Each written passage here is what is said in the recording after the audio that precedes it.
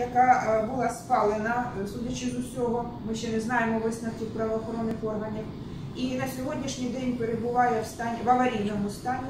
Вона на першу чергу потребує е, ретельного обстеження, далі випрацювання рекомендацій фахівцями і вже потім вироблення науково-проектної документації на реставрацію об'єкту.